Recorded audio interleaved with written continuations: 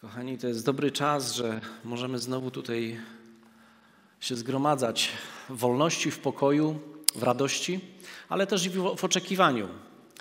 Bo y, Boże Słowo mówi, że niech się więc modli do Ciebie każdy, każdy oddany Tobie, gdy jest czas na szukanie. Na szukanie Bożej obecności, na szukanie Bożego Słowa.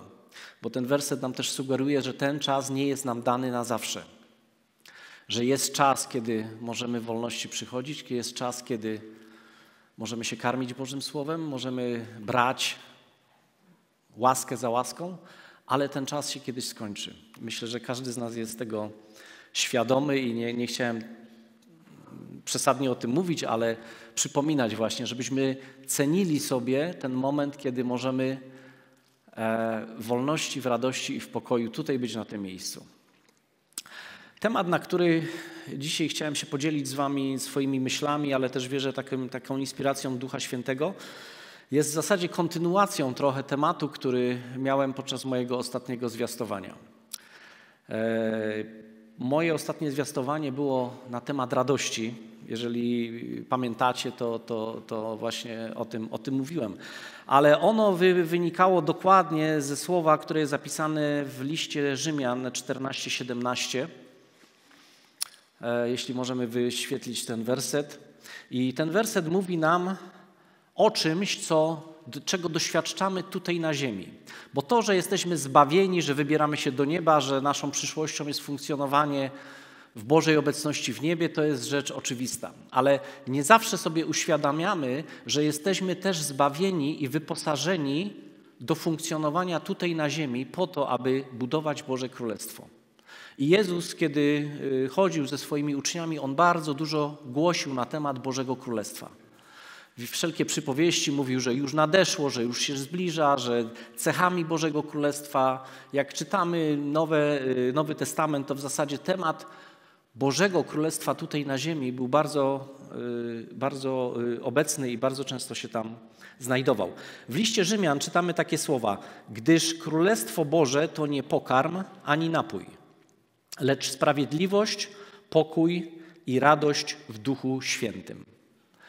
Sprawiedliwość, pokój i radość. Więc o radości było, a dzisiaj będę mówił o sprawiedliwości. Bo to jest jedna z trzech cech Bożego Królestwa tutaj na ziemi. I to Boże Królestwo zawsze musimy odnosić do, do różnych sfer działalności, do naszej osobistej, do naszego życia jako pojedynczej osoby w relacji z Bogiem, ty i ja funkcjonujesz w Bożym Królestwie, ale też i do społeczności, jakie jest Kościół. Kościół funkcjonuje albo jest wyrazem Bożego Królestwa tutaj na ziemi. Więc te trzy aspekty, o których chcę mówić, one muszą dotykać każdego z nas. W tym samym liście do Rzymian nie, będziemy, nie musimy tego wyświetlać, tylko przeczytam parę wersetów wcześniej. Pisze tak: A zatem każdy z nas za samego siebie zda sprawę przed Bogiem. To jest dokładnie ta sama myśl, która jest rozwinięta potem na temat Bożego Królestwa.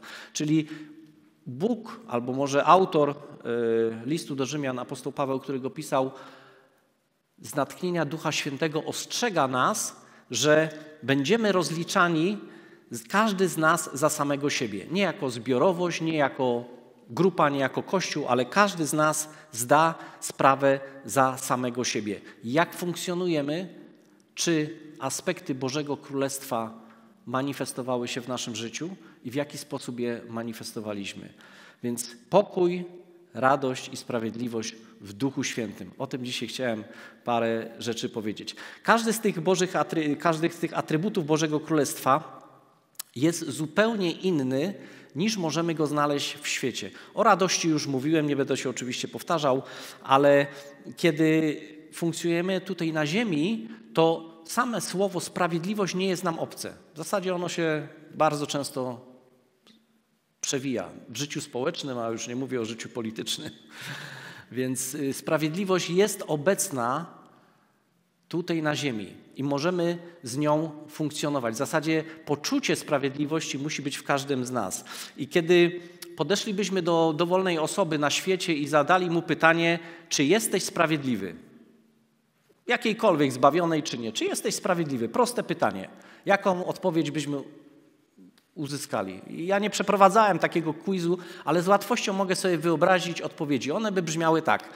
No staram się, no myślę, że jestem, no może niedużo mi brakuje. Ludzie żyją w poczuciu własnej sprawiedliwości. Ale tutaj jest dodane w tym wersecie 14-17, że pokój, radość i sprawiedliwość w Duchu Świętym. Ona jest zupełnie inna niż te cechy sprawiedliwości, których doświadczamy tutaj na ziemi.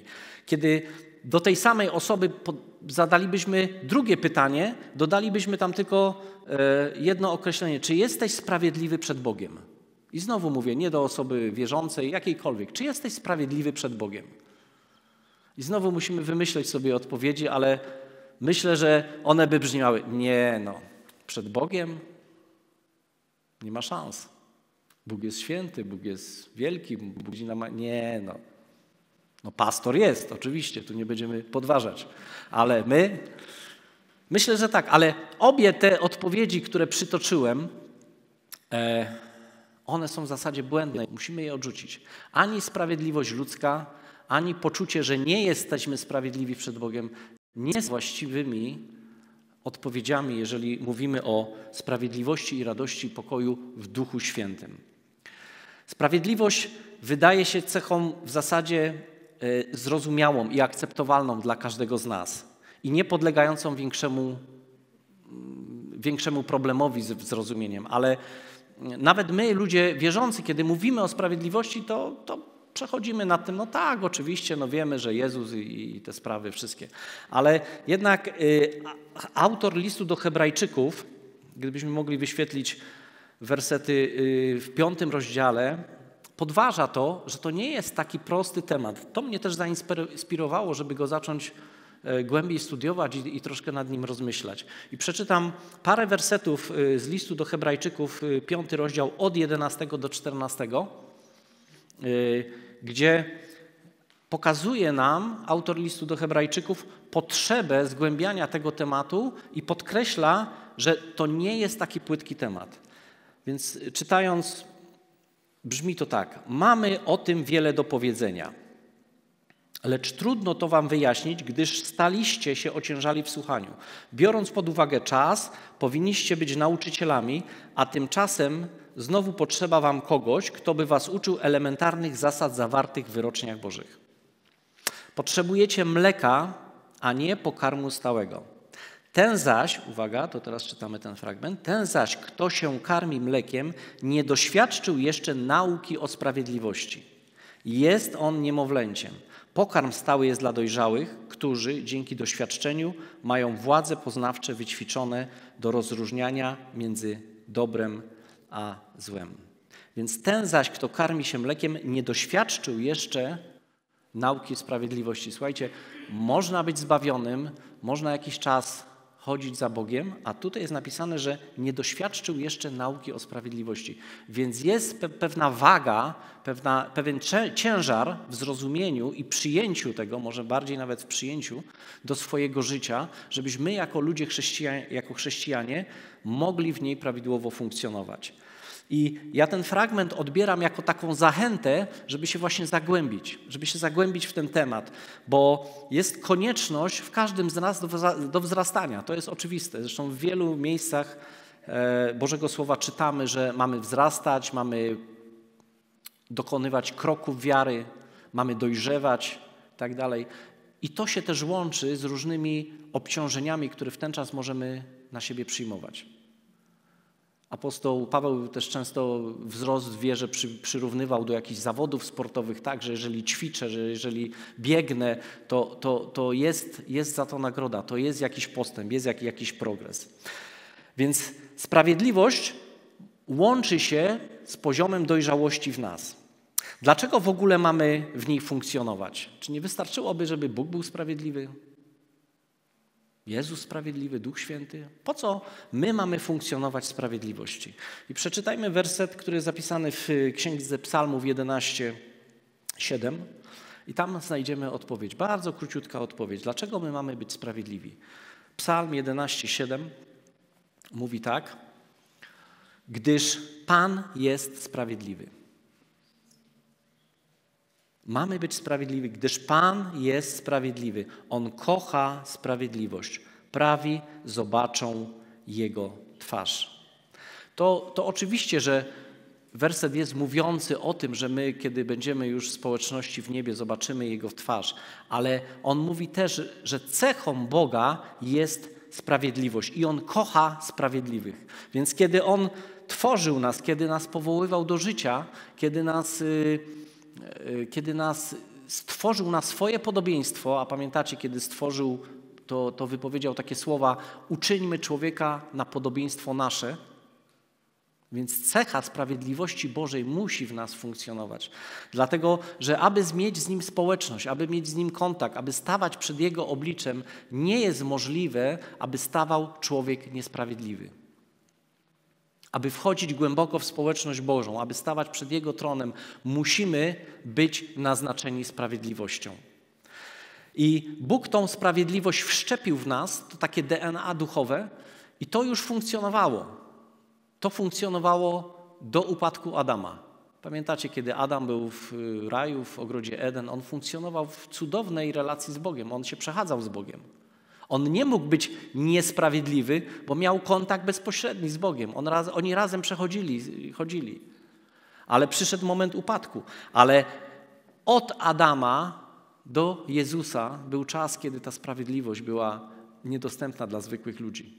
Ale przyszedł Zbawiciel Jezus Chrystus. I od czasu, kiedy Jezus Chrystus, Pismo mówi o nim, że to jest drugi Adam, on na nowo przyniósł nam w darze tą sprawiedliwość. Dlatego, jeśli Bóg jest sprawiedliwy, a chcemy mieć z Nim społeczność, chcemy funkcjonować w kontakcie z Nim, chcemy stawać przed Nim, my musimy być sprawiedliwi. Jego królestwo jest sprawiedliwością i nie może się tam znaleźć nic innego. Funkcjonowanie w Jego królestwie już tu na ziemi jest możliwe tylko w tych cechach, które są zapisane na samym początku, były podane w pokoju, w sprawiedliwości i radości w Duchu Świętym. I ten dodatek w Duchu Świętym, on wyraźnie pokazuje, że źródłem tej sprawiedliwości, zresztą tak jak źródłem radości i pokoju, nie jest ten świat nie możemy tam stawać w sprawiedliwości tego świata, ale w sprawiedliwości w Duchu Świętym. On, Duch Święty, jest źródłem, On jest jedyną treścią, On jest dawcą tej sprawiedliwości od początku do końca. I do tego nie możemy już tam nic dołożyć od siebie. Sprawiedliwości Bożej nie da się wyprodukować. Na przestrzeni historii wiele było takich y, Ludzi, którzy wchodzili w ogromną pokutę, wchodzili w jakiś katorżniczy tryb życia tylko po to, żeby się Bogu przypodobać. Ale y, myślę, że, że nie o to Bogu chodziło. Nie o to chodziło, żeby się biczować, żeby się głodzić, niby jako pustelnik mieszkać 17 lat na przykład na słupie, czy w jakichś innych tam sytuacjach ekstremalnych. Nie, te, nie do tego Bóg nas powołał.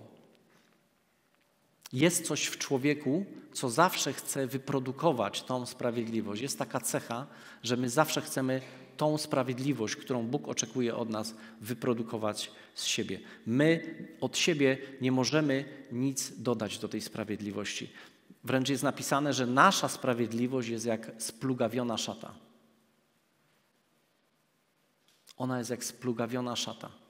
I to bez znaczenia, jak bardzo świętym, wzniosłym i głębokim życiem chrześcijańskim żyjemy.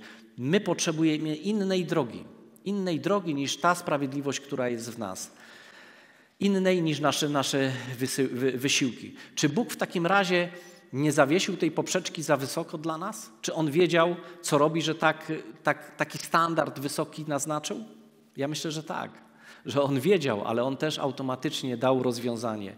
Rzymian 5:1 y, mówi nam o tym, zresztą widzicie, że dużo czytamy z listu do Rzymian. List do Rzymian 5:1 wskazuje, gdzie możemy znaleźć jako ludzie wierzący tą sprawiedliwość. Usprawiedliwieni zatem na podstawie wiary mamy pokój z Bogiem. Stało się to dzięki naszemu Panu Jezusowi Chrystusowi. Droga Boża została naznaczona przez Jego Syna. On posłał Jezusa Chrystusa, swojego Syna, po to, abyśmy poprzez Niego byli Bożą sprawiedliwością. Czyli zostaliśmy usprawiedliwieni, poprzez tą sprawiedliwość mamy pokój z Bogiem, a stało się to dzięki Jezusowi Chrystusowi. To jest droga człowieka wierzącego. Stamtąd jest treść tej sprawiedliwości, stamtąd jest esencja tej sprawiedliwości, tam jest źródło i tam jest, tam jest zasilanie. Sprawiedliwość Boża staje się naszym udziałem przez Jezusa. To Boży plan od początku. To On udziela tej sprawiedliwości, a my ją przyjmujemy. Żyjemy Jego sprawiedliwością, nie swoją. Sprawiedliwość to taka waluta z nieba, za którą zostaliśmy wykupieni ze swojego złego stanu duchowego. Mamy sprawiedliwość i spo, poprzez nią społeczność i udział w Jego królestwie, tak jak już powiedziałem, tutaj na ziemi. Zbawienie mamy za darmo, ale za nie ktoś zapłacił. Za tą sprawiedliwość, za tą sprawiedliwość, za to zbawienie, które otrzymaliśmy za darmo, ktoś zapłacił. Aktualnie jesteśmy sprawiedliwi sprawiedliwością Jezusa Chrystusa tutaj na ziemi. Kiedy będziemy w niebie, my już nie będziemy musieli zabiegać o tą sprawiedliwość. My już będziemy mieli cudowną społeczność i nie będziemy musieli myśleć, czy, czy my jesteśmy sprawiedliwi. To w ogóle przejdziemy w inny stan.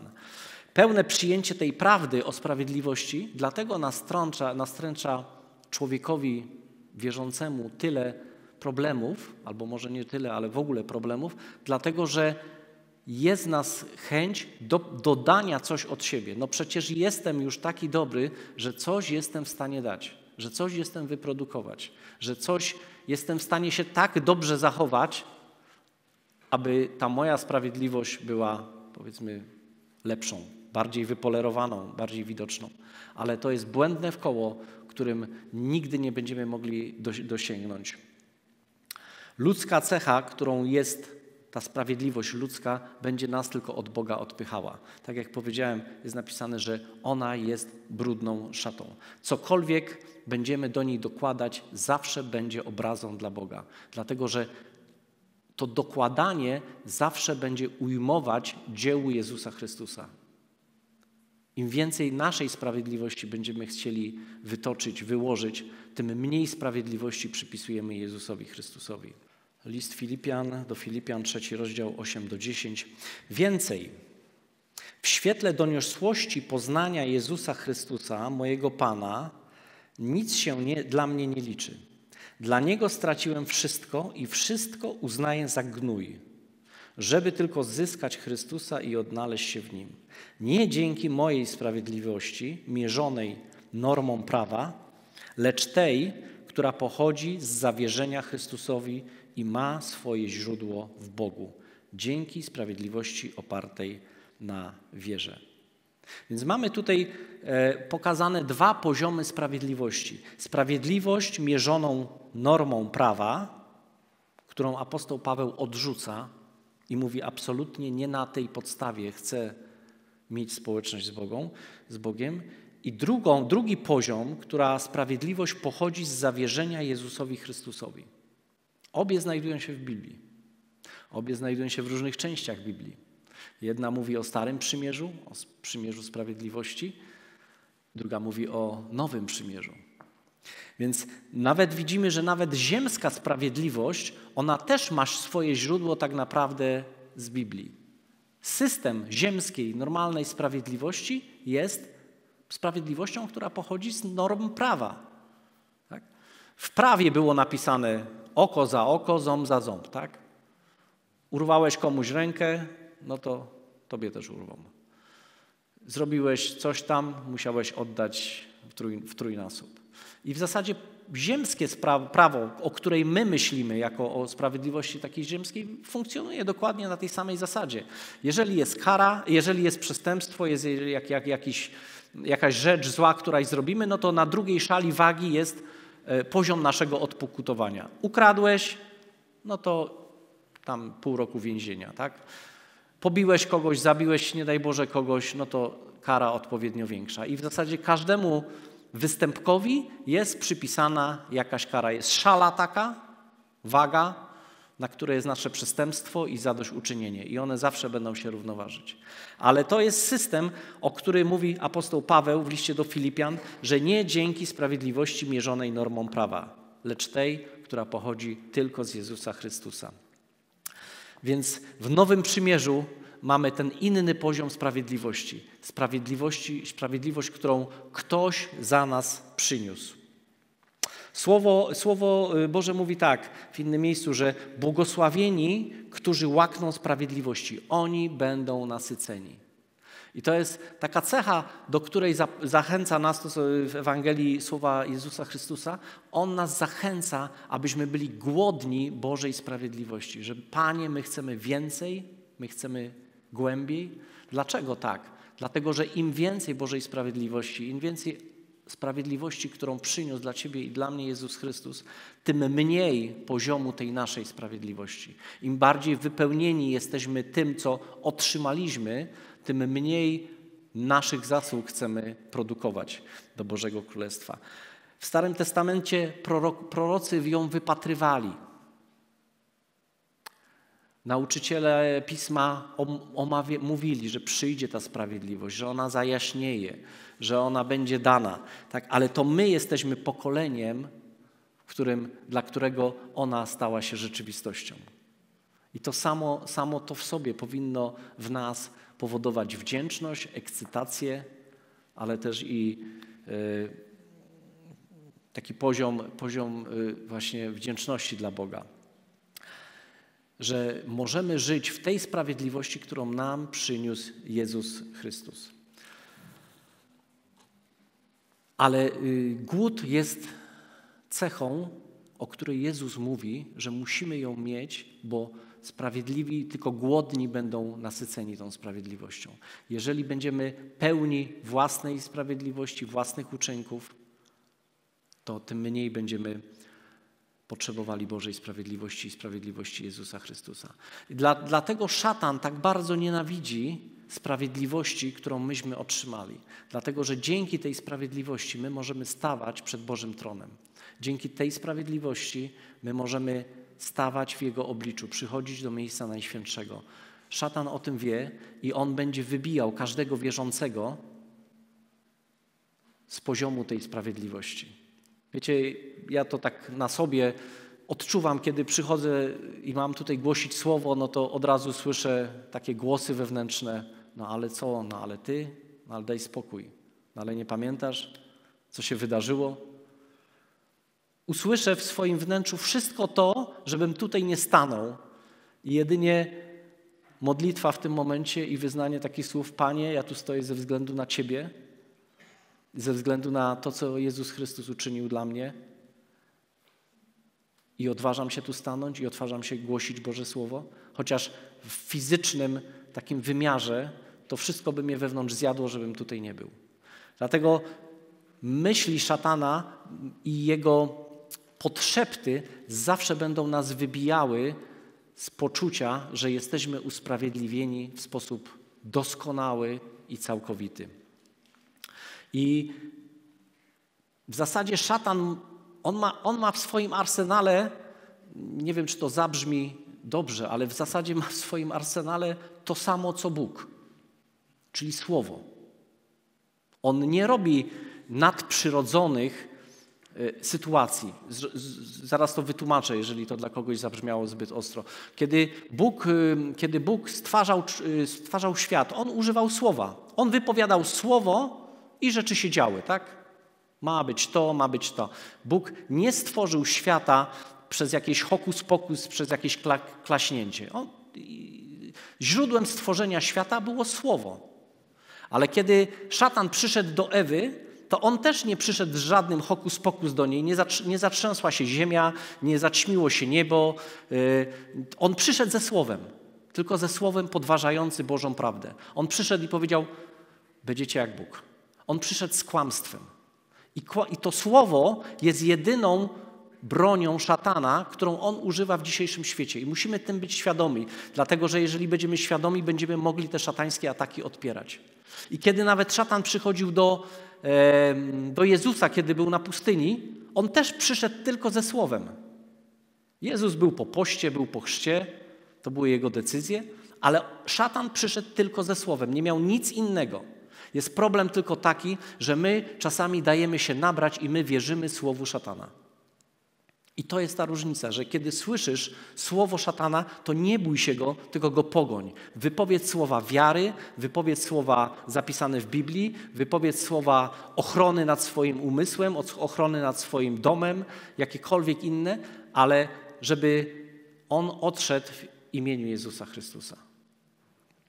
Dlatego, dlatego to słowo jest tak ważne, bo to jest broń, która jest używana przeciwko E, przeciwko nam jak, jak, y, jako, jako, wierzącym, jako wierzącym ludziom. Także słowo jest narzędziem budowania przez Boga, ale słowo też jest narzędziem destrukcji w rękach szatana. Oczywiście inne słowo, dlatego że słowo, szatan jest źródłem kłamstwa.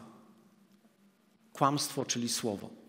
Słowo, słowo kłamliwe. On przychodzi z kłamliwym słowem, przedstawiając kłamliwą rzeczywistość, kłamliwe rzeczy, i teraz, jeżeli ktoś uwierzy, to może być wykonawcą woli szatana poprzez to, że uwierzy w kłamliwe słowa. Ale to zostawmy już na boku. E, to, to jest tylko taki margines tej sprawiedliwości. Więc i diabeł wie, że jeżeli przyjdzie z tym kłamliwym słowem do nas, e, to, to może nam zabrać tą sprawiedliwość. To może ten poziom sprawiedliwości w nas obniżyć i powiedzieć: A widzisz, nie powinieneś tego robić, bo Wczoraj, przedwczoraj, albo trzy dni temu, albo kiedyś tam jeszcze indziej. Wytknie wszystkie inne rzeczy, ale jakaż wdzięczność jest w naszym sercu, jeżeli możemy powiedzieć, ale Jezus Chrystus właśnie za to umarł. Za to, co było wczoraj, przedwczoraj, trzy dni temu. I jestem usprawiedliwiony. I jestem sprawiedliwością Bożą. I wtedy się kończy jego temat. Także zrozumienie sprawiedliwości Bożej opiera się na wybraniu. I myślę, że to jest taki, taka cecha, którą musimy dobrze sobie e, uzmysłowić, żebyśmy tą sprawiedliwość Bożą, która jest w nas, dobrze odżywiali. Co, co myślę, o, kiedy mówię o wybraniu? Myślę takie słowa: Jestem wybrany, jestem Bożym dzieckiem, jestem Jego. On jest mój, Bóg jest mój. To są takie króciutkie zdania, które musimy sobie powtarzać, żeby nas, nasz umysł to przyjął, przetrawił i żeby to się stało jego źródłem i esencją. Jestem wybrany nie za to, jakim jestem, ale jestem wybrany ze względu na Boże miłosierdzie, na Jego łaskę i na Jego miłość. Nie za moje zasługi, nie za to, co uczyniłem, ale w suwerennym akcie miłości Bóg mnie wybrał. To powoduje, że sprawiedliwość we mnie może wzrastać. I taką może chciałem ilustrację opowiedzieć, być może ona jest taka infantylna, ale tak jak y, miałem okazję spędzić parę dni kiedyś na, niedawno na, na, nad morzem i lubię obserwować różne sytuacje i kiedy też modliłem się w tym czasie właśnie o, o o zwiastowanie, to zobaczyłem taki prosty obraz, który w zasadzie chyba każdy z Was widział. Tak? Ojciec wchodzi z dzieckiem, malutkim dzieckiem do wody. I są fale oczywiście. Tak? Każdy, większość z nas jest rodzicami, dziadkami, widzieliśmy to dziesiątki, setki razy. I tak mówię o rzeczywiście naturalnym obrazie, przyglądałem się tej parze, taki tata postawny, dziecko takie malutkie do kolana, może trochę. No i im bliżej tych fal tam szli, no to to dziecko w takiej wielkiej panice i tylko do tyłu i wsteczny bieg i chciało stamtąd uciekać. Aż w końcu ten tata go wziął na ręce i szedł dalej w, tą, w te fale. I tak sobie pomyślałem, że kiedy my się znajdujemy właśnie w Bożych ramionach, to nam już jest obojętne, co jest dookoła. To nam nie, nie przeszkadzają fale, pożary czy coś takiego. Jesteśmy w Bożych, w Bożych ramionach, czyli w ramionach naszego Ojca. To dziecko było całkowicie spokojne, kiedy znalazło się w rękach. I tak sobie pomyślałem, jakbym podszedł do tego dziecka i powiedział, no słuchaj, ja rozumiem, teraz jesteś bezpieczny, idziesz do tych fal, tata cię trzyma, no ale zamieńmy ci tego tatę. Tam jest ratownik, on lepiej pływa, weźmie cię w ręce i zaniesie do wody. To dziecko nigdy by się na to nie, nie zgodziło, dlatego że to jest jego tata. I tam by mógł być człowiek na przykład dużo bardziej muskularnie zbudowany, czyli w sensie ludzkiej takiej przezorności bezpieczniejszy. I bym powiedział temu dziecku, słuchaj, no to może tamten pan, który wygląda na takiego potężnego, będziesz jeszcze bardziej bezpieczniejsza. nie przekonałbym tego dziecka, bo ono było w ramionach swojego ojca. Jakkolwiek by ten ojciec wyglądał, jakąkolwiek miał postawę. I druga myśl, dokładnie do tej, do tej samej ilustracji. Gdybym podszedł do tego ojca i powiedział: No, niesiesz to swoje dziecko do tej wody, rozumiem, chcesz go tam nauczyć czegoś, no ale na plaży jest, popatrz, ile ładniejszych dzieci. To twoje jest takie, no średnie, nic specjalnego. Ale popatrz, tam jest taki ładny. Weź tam to zaniósł, zanieść do wody. Myślicie, że ojciec poszedłby zamianę zrobił? Nie ma mowy, bo to jest wybrane jego dziecko.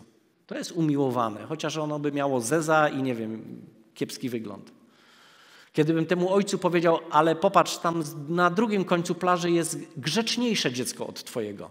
Ten twój to taki drzyg, bo tam, nie wiem, podskakuje i, i chce się wyrwać. Może tam to grzeczniejsze sobie weź i zanieś go, zrób dokładnie to, co chciałeś. Nie ma mowy. Ojciec by się nie wymienił, chociażbyśmy przynieśli grzeczniejsze, chociażbyśmy przynieśli ładniejsze, bardziej ułożone. I tak sobie pomyślałem, że to jest ilustracja naszego, naszej relacji w życiu chrześcijańskim.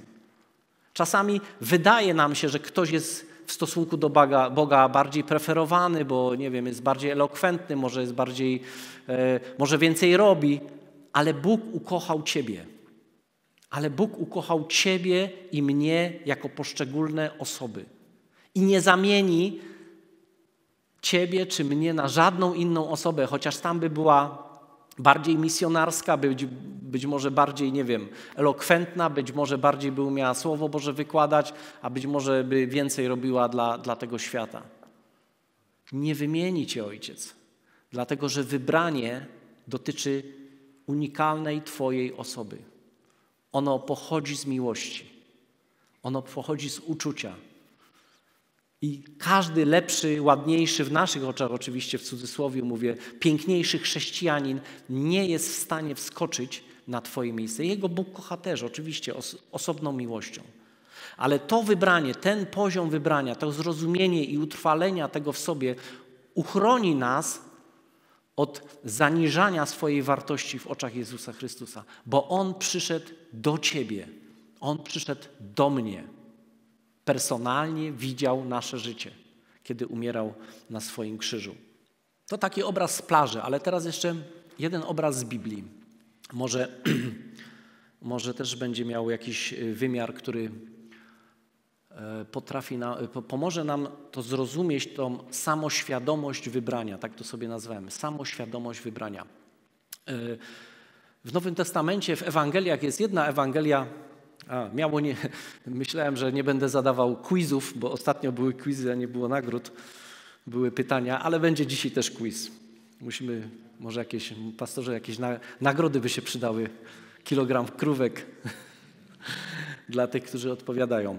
Więc w Ewangeliach mamy jedną z Ewangelii, gdzie autor tej Ewangelii mówi o sobie, że jest umiłowanym dzieckiem albo umiłowanym uczniem. Jan. Bardzo, bardzo prosta odpowiedź, tak. E, I z tego, co dobrze kojarzę, to w tej Ewangelii Jana autor, czyli apostoł Jan, podkreśla to cztery razy, że tam był umiłowany uczeń albo siedział umiłowany uczeń. Ta fraza o sobie mówił, tak. On mówił o sobie i powtarza się to, jak dobrze myślę, cztery razy, dobrze kojarzę. A teraz powiedzcie mi, ile razy Jezus powiedział, że Jan jest jego umiłowanym uczniem?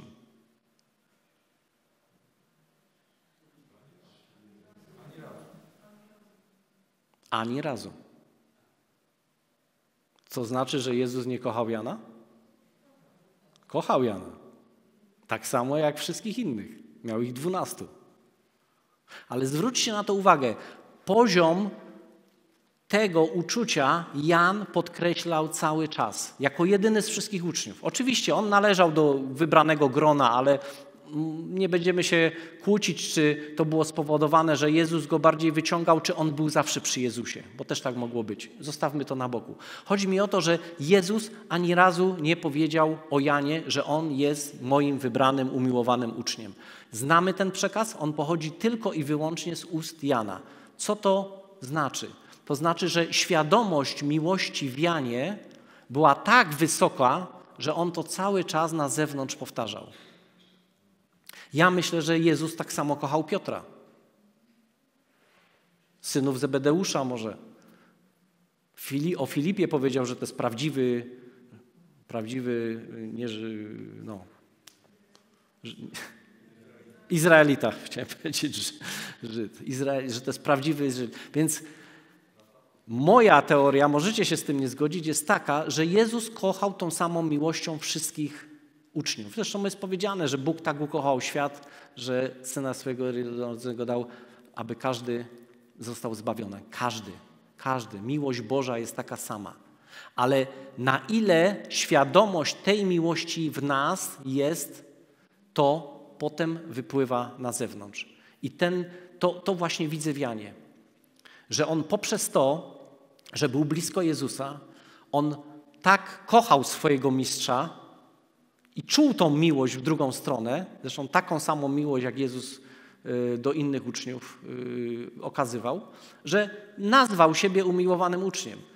Na podstawie tej nauki dzisiaj ty lub ja możemy powiedzieć, że jesteśmy umiłowani, zresztą wiele razy w Biblii powtarza się, się, ten tekst, umiłowani, że jesteśmy umiłowani w Chrystusie, że Bóg mnie umiłował, że czuję się najbardziej umiłowany przez Boga. Mam prawo się tak czuć i Jezus się cieszy, że się tak czuje, bo to znaczy, że doceniam, e, doceniam Jego miłość. Każdy z nas może wejść w taki poziom umiłowania. I właśnie budowanie tej samoświadomości wybrania, żebyśmy wiedzieli, że jesteśmy wybrani, że jesteśmy jedyni, niezależnie od naszych cech zewnętrznych. Ona będzie powodowała to, że ta sprawiedliwość w nas będzie również wzrastała, bo skoro jesteśmy umiłowani, skoro jesteśmy wybrani, skoro jesteśmy jedyni w naszych oczach, to jesteśmy też sprawiedliwi przed Bogiem. Psalm 30, 37, 5, 6 werset, on mówi takie słowa, zapisane są tutaj. Powiesz Panu swoją drogę, zaufaj Mu, a On podejmie działanie. Sprawi, że Twoja, a ja tutaj zamienię, że moja, że nasza, sprawi, że nasza sprawiedliwość zabłyśnie jak, jak światło. Twa prawość zajaśnieje jak słońce w południe. Więc tą ten poziom sprawiedliwości, którą obdarza nas Jezus Chrystus, my możemy przy, przyjąć tylko przez wiarę. Ale musimy tego strzec i musimy to pielęgnować, aby to w nas wzrastało. Tutaj jest napisane: zaufaj mu, zaufaj Bogu, bo wydaje się to takie proste. To jest, to jest tak proste, że to jest niemożliwe. To jest niemożliwe, żeby Bóg, pomimo tego, jaki ja jestem, on tak bardzo mnie ukochał. No to są myśli, które często nam przychodzą do głowy, przynajmniej mi. No to jest niemożliwe, że, że Bóg mnie kocha taką cudowną miłością, uczynił mnie tym, kim jestem, widząc moje życie, stare życie czy, czy jakieś inne upadki. Że to jest niemożliwe. Ale pisze, zaufaj mu. My mu mamy zaufać, a on podejmie działanie. Nie odwrotnie. Nie my mamy działać, a Bóg nam zaufa. My mamy zaufać, a on podejmie działanie. W zasadzie już podjął, bo to jest zapisane w psalmie, czyli jest to prorocze. To mówi o, o podjęciu działań przez Boga, ale dzisiaj przekładając to na nową, now, no, Nowy Testament, musielibyśmy tam powiedzieć, już podjął w Chrystusie działanie. Że sprawi, że moja, nasza, Twoja sprawiedliwość zabłyśnie jak światło. Jak to jest możliwe, żeby moja sprawiedliwość, moja, moje rzeczy, które wszystkie wykonałem, świeciły przed Bogiem? W ludzkim wymiarze to nie jest możliwe, ale w Bożym wymiarze tak. Dlatego, że okrywając się sprawiedliwością Jezusa Chrystusa, dochodzimy właśnie do tego, że, że nasza, moja sprawiedliwość zabłyśnie jak światło w południe. Więc zaufanie proste jak dziecko ojcu. Wtulenie się, jestem Twój, a Ty jesteś mój. Może jestem drzyk, może mi się nie udało wiele rzeczy, może się potknąłem, ale to jest mój tata. I vice versa. I tata tuli to swoje dziecko nad tym morzem, widząc, że nie ma trzech zębów, włosy rozczochrane, może tam piasku mamie nasypał wcześniej do oczu, różne tam harce może po... Ale to nie ma znaczenia. To kompletnie nie ma znaczenia. Sprawiedliwość polega na wybraniu, na, na ukochaniu. I na rozkoszowaniu się tym, że Bóg wprowadza nas w ten stan. Diabeł będzie tego chciał użyć, żeby wyolbrzymić każdy jakikolwiek nasz upadek, aby ta sprawiedliwość w nas niech wzrastała. Ale on, tak jak powiedziałem, on jest ojcem kłamstwa. Diabeł nie ma innej broni jak słowo, jak słowo kłamliwe, które będzie wypowiadał do Twojego i do mojego życia po to, żeby się sprzeciwić temu, co Bóg ofiarował. Musimy żyć sprawiedliwością Bożą w nas. W liście do Rzymian, znowu wracając do listu do Rzymian, jest zapisane: Sprawiedliwy z wiary żyć będzie. Znamy to wszyscy na pamięć. Sprawiedliwy z wiary żyć będzie. Więc wiara jest substancją, która tą sprawiedliwość będzie nas, w nas yy, podnosić. To wydaje się proste, nawet za proste, dlatego jest w nas tendencja do kombinowania w tej sprawiedliwości. Dołożyć trochę ludzkiej, dołożyć trochę mojej, dołożyć troszkę uczynków, dołożyć troszkę dobrego zachowania, jakkolwiek. Ale pamiętajmy, że splugawimy tylko szatę. Ta nasza sprawiedliwość musi zostać odsunięta w, w, w kąt. W takim razie, gdzie możemy znaleźć e, w Biblii takie przykłady usprawiedliwionych osób, usprawiedliwionych w tym kontekście, którym mówimy? Otwórzmy Dzieje Apostolskie, 23 y, rozdział, y, pierwszy werset. I tam jest y, historia, w zasadzie słowa Pawła zapisane, apostoła Pawła, który już będąc aresztowanym stoi przed radą. I czytamy tam takie słowa tak. Paweł z uwagą spojrzał na radę i powiedział: Drodzy bracia, do dziś dnia żyję przed Bogiem z całkowitym czystym sumieniem. Do dziś dnia żyję przed Bogiem z całkowitym czystym sumieniem. I kiedybyśmy te słowa poddali takiej analizie na zimno według sprawiedliwości tego świata, no to musimy powiedzieć hola, hola Paweł. Nie tak całkiem, nie do końca. A co z więzieniami? A co z chrześcijanami, których wsadziłeś do więzień? Wiesz, ilu tam zmarło? A co, do, a co z Damaszkiem? Jechałeś do Damaszku, miałeś listy dające ci prawo wsadzać i, i ciągnąć y, w więzach do więzień wybranych Bożych. Nie pamiętasz? A co ze Szczepanem? Stałeś i patrzyłeś, jak kamieniują, w zasadzie wydawałeś im rozkazy, pilnowałeś ich szat. Krew Szczepana obciąża cię, nie wywiniesz się tak łatwo. Także lista zarzutów jest naprawdę wielkiego kalibru i głęboka. Ale Paweł mówi, do dziś dnia żyje przed Bogiem z całkowicie czystym sumieniem. Czyż to nie jest cudowne? Czyż to nie jest cudowne, że Paweł wiedział, że sprawiedliwość Boża, sprawiedliwość Jezusa Chrystusa oczyszcza go z jakiegokolwiek grzechu?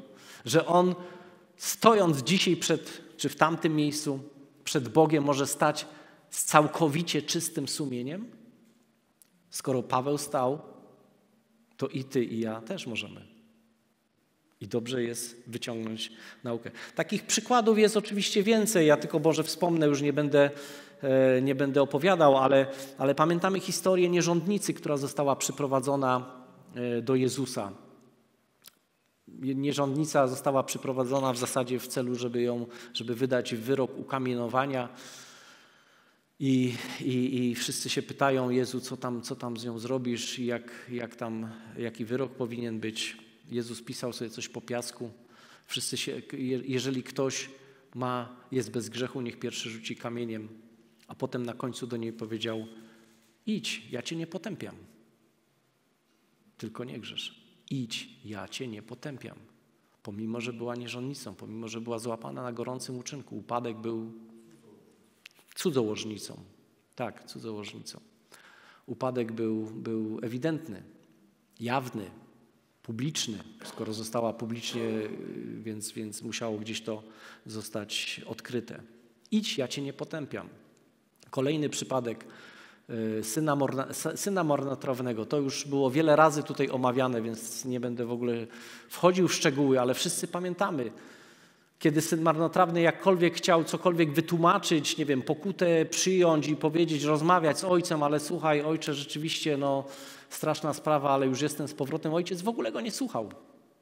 Zobaczcie, on w ogóle go nie słuchał. Powiedział: szata, pierścień, sandały, wracasz do dziedzictwa. Już jesteś, już jesteś dziedzicem. Nie, nie, nie, dyskutuj, w ogóle nie pamięcią nie wchodź, nawet nie wymieniaj rzeczy, które robiłeś.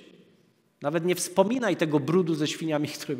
Już przyjęcie jest. Przyjęcie jest na Twoją cześć. Zderzenie starszego brata z tą sytuacją było ciężkie. No i w końcu jeszcze jeden, przy, przy, jeszcze jeden przykład. Sprawiedliwość Łotra na krzyżu.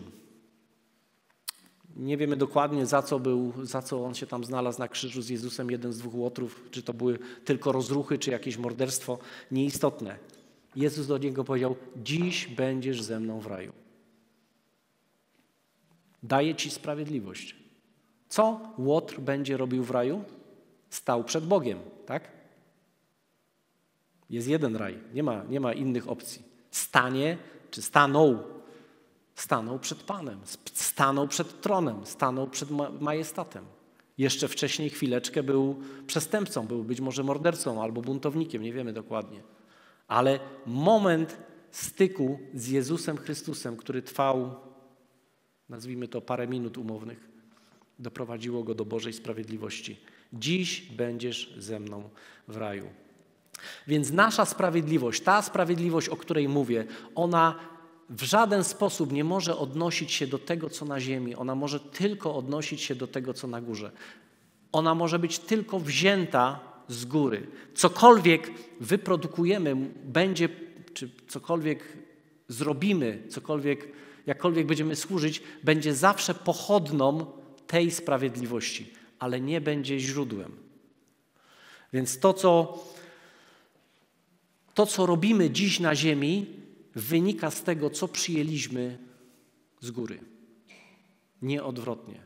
I dobrze jest o tym pamiętać. My sami możemy sobie niestety czasami odebrać tej sprawiedliwości, dlatego że przyjęcie tej sprawiedliwości będzie w konflikcie z naszymi myślami, z myślami, które będzie nam przeciwnik podsyłał. Możemy ująć sobie miarę tej sprawiedliwości my sami sobie możemy ją niestety też komuś ująć albo nie przyznać. Powiedzieć: O, bracie, tak ładnie dziś w niedzielę wyglądasz, ale widziałem cię w czwartek. I to nie była ciekawa sytuacja. Oczywiście ja nie folguję tutaj grzechowi, mówiąc o, o, jakimkolwiek upadku, o jakimkolwiek potknięciu, o jakimkolwiek grzechu. Mam na myśli, że człowiek wierzący wie, że to się musi skończyć pokutą, przyjściem do Jezusa Chrystusa. Ale w momencie, kiedy pokutujesz, kiedy przynosisz ten grzech tam, gdzie masz przynosić, to nikt inny nie ma prawa ci już jego więcej wypominać. W liście e, do Rzymian jeszcze przeczytajmy taki fragment zapisany w czwartym, liście, w czwartym rozdziale 6 e, do 8. List do Rzymian, czwarty rozdział 6 do 8. Jest napisane, są takie słowa. Tak też Dawid opisuje, czyli mamy słowa zapisane w Nowym Testamencie, ale wspominające króla Dawida. Tak też Dawid opisuje szczęście człowieka, któremu Bóg przypisuje sprawiedliwość niezależnie od uczynków. A więc któremu Bóg przypisuje sprawiedliwość niezależnie od uczynków. Taki człowiek jest szczęśliwy, kiedy masz przypisaną sprawiedliwość niezależnie od uczynków. To nie jest zachęcenie do tego, że możesz sobie folgować w złych uczynkach, ale wskazanie, że źródło sprawiedliwości nie ma z uczynkami nic wspólnego. Szczęśliwi ci, którym przebaczono nieprawości, których grzech zakryto, szczęśliwy człowiek, któremu Pan nie przypisze grzechu. Boża sprawiedliwość to jest nieprzypisywanie grzechu. Tak to wynika z tych słów, które przeczytałem. Boża sprawiedliwość to jest nieprzypisywanie grzechu, dlatego że te upadki będą nam się zdarzały. One się zdarzają. My żyjemy tutaj na ziemi, w ciele i oby ich było jak najmniej. Ale człowiek wierzący, który wie, co z tym zrobić, korzysta z ochrony z oczyszczającej krwi Jezusa Chrystusa. Więc Boża sprawiedliwość to jest nie przypisywanie grzechu, pomimo że on jest. Jeśli Pan ci grzechu nie przypisuje, to nie przypisuj sobie sam go. Jeśli Pan ci grzechu nie przypisuje, to my sami też nie przypisujmy sobie, ale też nie przypisujmy go innym, bo to też często może po prostu zrób z grzechem to, co trzeba. Idź z nim pod krzyż. Tam jest jego miejsce. Tam jest y, wykupienie. To, co pomaga nam w utrwaleniu sprawiedliwości w nas, to, co nas wzmacnia w Bożej sprawiedliwości w nas, to jest patrzenie na krzyż Jezusa. Tam sobie uświadamiamy, że ta sprawiedliwość, którą otrzymujemy, którą za darmo otrzymujemy, którą z łaski otrzymujemy, że ona ma swoją ogromną cenę. Że to nie jest coś, co zostało powielone set milionów razy dla każdego chrześcijanina i w zasadzie to jest troszkę takie, tak jak ksero. Już nie ma wartości, ile kartek tam wyrzucisz z tego ksera. Więc Krzyż Jezusa Chrystusa pokazuje nam cenę tej sprawiedliwości. Wcześniej powiedziałem, że ta sprawiedliwość jest za darmo, ale ona ma swoją cenę, tylko że tą cenę ktoś zapłacił za nas. Widziałem kiedyś taką sytuację, kiedy była jakaś tam biedna osoba i, i, i w restauracji coś tam zamówiła, tam miała parę groszy, jakąś tam bułeczkę z czymś tam i kelner przychodzi i i, i, chciał, i ta osoba chciała zapłacić, tak? Miała tam, nie wiem, groszówki jakieś tam było widać. To był bar, może nie restauracja. Ale kelner powiedział, ale pan już ma zapłacony ten posiłek. O się okazało, że ktoś z innego stolika to widział i zapłacił. I ta osoba zjadła i już nie musiała nic płacić. To może to jest słaba analogia, ale mówiąca coś, że kiedy my przychodzimy po sprawiedliwość do Jezusa Chrystusa, dostajemy ją za darmo. To prawda. Ale jest ktoś, kto zapłacił, bo nie ma sprawiedliwości za darmo. My ją tam widzimy, tą sprawiedliwość w ranach i, i, i w krwi Jezusa Chrystusa, w Jego rozszarpanym ciele. Tam jest ta wartość, prawdziwa wartość tej sprawiedliwości. Że Boży Syn dobrowolnie poszedł na krzyż, dał sobie wbić gwoździe, dał sobie nałożyć koronę cierniową, dał się ukrzyżować i powiedział, że on sam, nie, nikt mu życia nie zabiera, on sam je oddaje i zmarł. Że nawet rzymscy żołnierze byli zaskoczeni, że tak szybko, bo on sam zmarł, on sam oddał to życie. Inni musieli jeszcze golenie, golenie połamać, żeby, żeby ich życie zakończyć fizyczne. Jezus już nie żył. On oddał tam życie dla Ciebie i dla mnie. Więc to jest rozliczenie naszej sprawiedliwości, rozrachunek na ciele Jezusa. Tam sińce i rany, tam Jego krew, tam cena, za którą jesteśmy wprowadzeni za rozerwaną zasłonę przed Boży tron, przed Boży majestat.